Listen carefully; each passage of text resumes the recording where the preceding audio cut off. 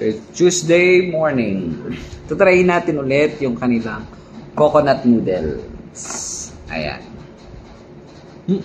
Tingnan matapon. Hmm. Ito masarap to kapag medyo bigyan natin ng lemon. Actually, every Tuesday, ito yung kinakain ko dito.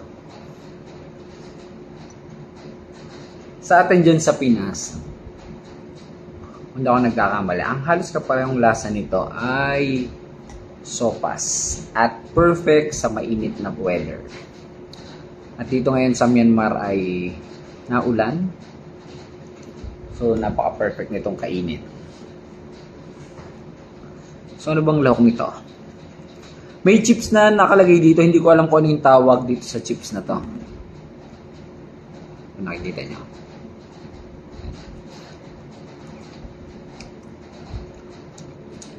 Crispy pa din siya. Kahit medyo nababad na sa pinakasabaw niya. May egg, may sibuyas, coconut noodles. Hmm.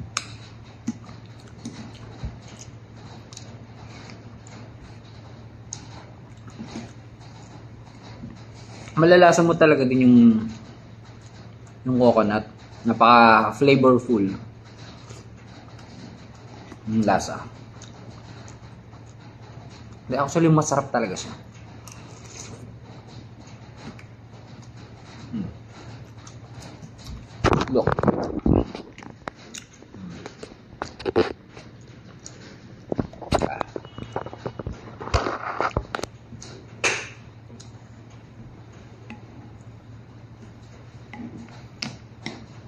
Hindi ko alam kung bakit naging yellow yung color niya.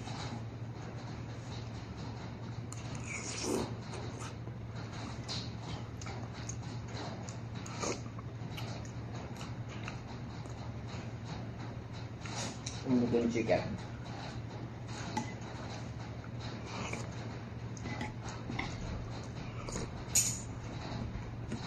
Perfect sa ganitong weather. Malamig, umulan sa labas. Tapos wala pang klase.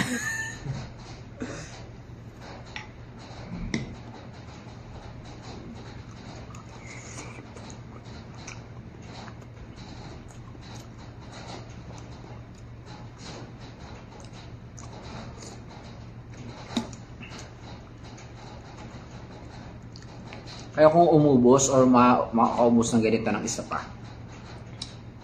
Actually, tatlo kaya ko pa nga. Dito sa pera nila ay 2,000 or 2,500 ang benta nila. Siyempre sa atin mura lang yun. Malaki lang pakinggan sa kanila.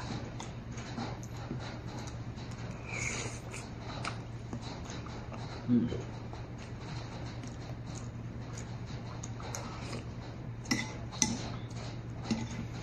Hindi naman siya spicy.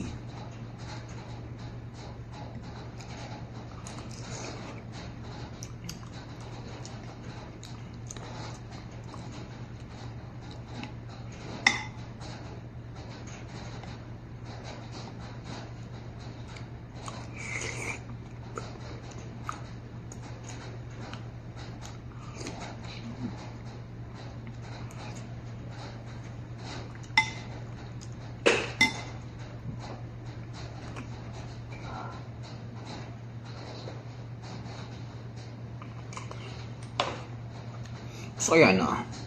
Yung nilagyan nila ng parang chips. Para nagka nagkaroon ng ibang texture.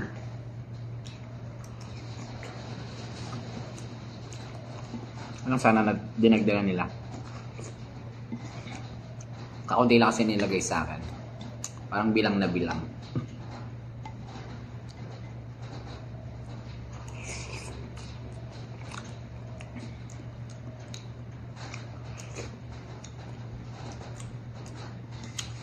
Sarap.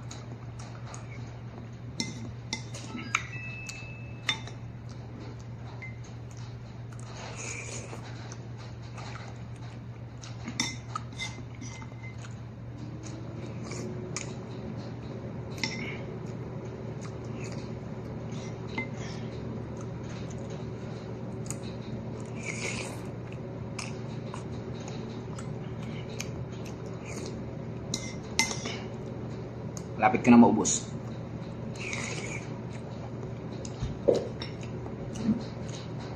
Konti na lang. Taas na natin.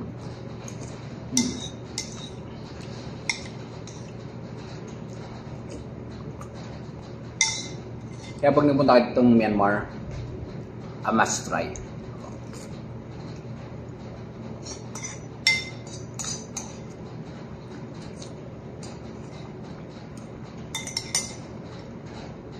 Boss. 10 over 10. Sarap.